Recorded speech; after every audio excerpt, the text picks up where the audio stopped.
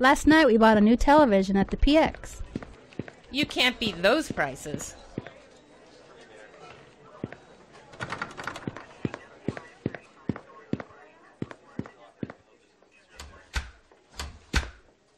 Welcome to class, soldier. Hey, Get down from there, soldier. Let's get started. Throughout history, soldiers have been helping their injured buddies, and you will be no exception. If you see a wounded soldier, your first action is to help that buddy. Being here today shows that all of you have the desire to help, but the question is, do you know how? What we will attempt to do is give you an appreciation for the significance of prompt, effective first aid and the basic proficiency in the application of critical first aid skills. Performing first aid on a fellow human being is one of the purest examples of living up to the Army core values. It is our duty to learn first aid and our duty to provide first aid to others. Whenever we give first aid to any other person, you're being loyal to other members of your unit, fulfilling your obligation to other soldiers, and showing those people the same respect you would expect from them. In many cases, you will be risking your own life in a selfless way to provide first aid. You are doing what's right and showing personal courage, both physically and morally. By performing first aid, we are living up to the Army value of honor, because saving a human life brings honor to yourselves and to the United States Army. It is important that you treat injuries in the order in which they are most life threatening. During this lesson, you will learn how to evaluate a casualty for breathing difficulties and decide in which order to give first aid measures. In this and in future lessons, we will be teaching you the signs and symptoms for evaluating and treating a casualty according to the priorities needed to prevent death, control shock, and lessen further injuries. Our first step is to ascertain that our buddy is in fact a casualty.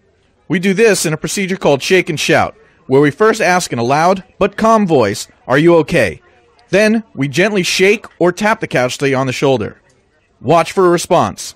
A conscious casualty may be asked where his body feels different than usual or where it hurts. If the casualty does not respond, assume mouth to mouth resuscitation is needed. Call for help and begin resuscitation procedures. If you or the casualty thinks that they may have hurt their neck or back, do not move them unless it is absolutely necessary to save their life.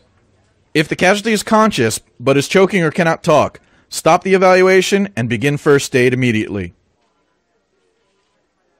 When it is safe to do so, lay the casualty on their back and open the airway with the appropriate maneuver.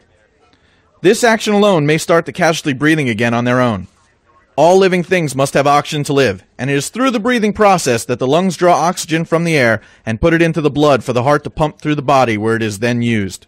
Without this oxygen, cells in the brain and nervous system may die after 4 to 6 minutes.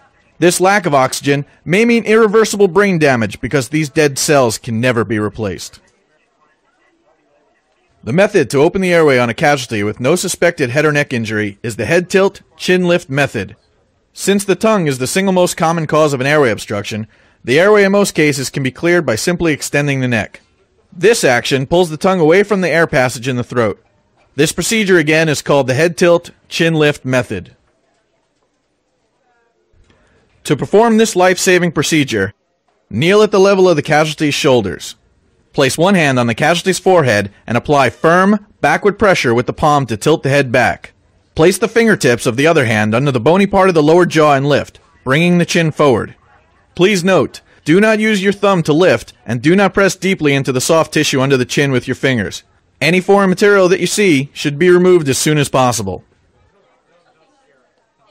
For casualties that may have sustained significant head or neck injuries, we use a procedure called the jaw thrust. Kneel behind the casualty's head and rest your elbows on the surface on which the casualty is lying. Place one hand on each side of the casualty's head and grasp the angles of the lower jaw with your fingertips. Place your thumbs on the jaw just below the level of the teeth. Lift with both hands to move the jaw forward and upward. This action will also cause the casualty's head to tilt back somewhat. Keep the head and neck from moving more than necessary. If the casualty's lips are still closed after the jaw has been moved forward, use your thumbs to retract the lower lip and allow air to enter the casualty's mouth. Next, check to see if the casualty is breathing by using the look, listen, and feel method. Place your ear over the casualty's mouth and nose with your face toward the casualty's chest and look for the rise and fall of the casualty's chest. Listen for breathing and simultaneously feel for breath on your ear and cheek. If casualty is not breathing, immediately call for medical help and continue with your first aid. If the casualty does not spontaneously start breathing when you open their airway, you will need to provide what we call rescue breaths. If you are using the head tilt chin lift method, use the thumb and index finger of your hand on the casualty's forehead to gently pinch the casualty's nostrils closed. If you are using the jaw thrust, close the casualty's nostrils by placing your cheek tightly against the nose. Administer two full breaths by opening your mouth wide and taking a deep breath. Place your mouth over the casualty's mouth. Make sure that your mouth forms a good seal so that air will not escape when you blow into the casualty's mouth. Maintaining the open airway will keep the casualty's mouth open slightly.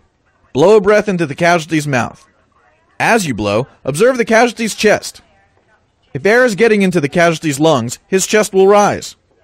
After blowing the first breath, quickly break the seal and take another deep breath. Seal your mouth over the casualty's mouth again and blow. Administering the two full breaths should take about two to three seconds. After delivering your breaths, break the seal over the casualty's mouth and release their nose. This will allow the casualty's body to exhale naturally.